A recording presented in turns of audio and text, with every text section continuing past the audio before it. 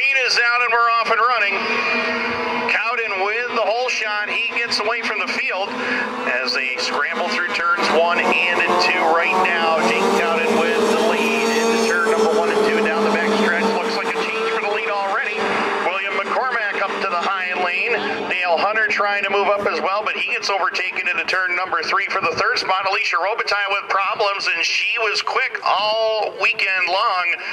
Won't be quick now as she is slow to a complete stopover in turn number three.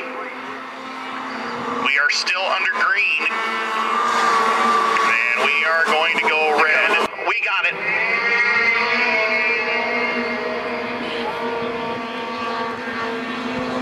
looks like Cowden's going to get that hole shot once again, going down into turn number one and two.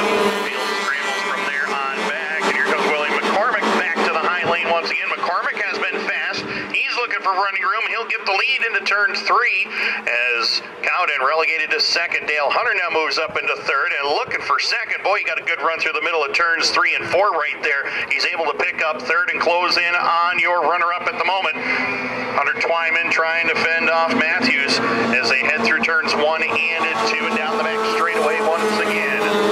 William McCormack trying to pick up another win in this class. He won here yesterday, trying to go back to back he can.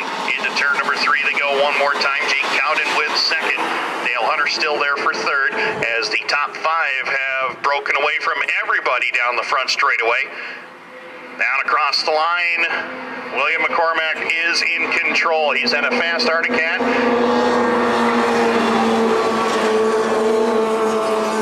Shelby Neitzel, she pulls it into the infield. Problems continue for her sled. Meanwhile, no problem up front for William McCormack. He is well in control of this one. Uh, 12 sled links is the advantage right now over second place. Jake Cowden as the white flag flies from McCormack. Dale Hunter rounds out the podium at the moment. Hunter Twyman and Sam Matthews trying to move up if they possibly can in the closing stages of this one. Right now, William McCormack, he is just on a Sunday afternoon cruise here in Eganville, driving down the back straightaway going by a couple of slower sleds into turn number three.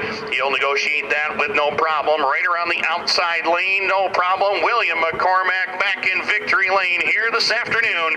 Gets it done in Junior 340. And that will do it.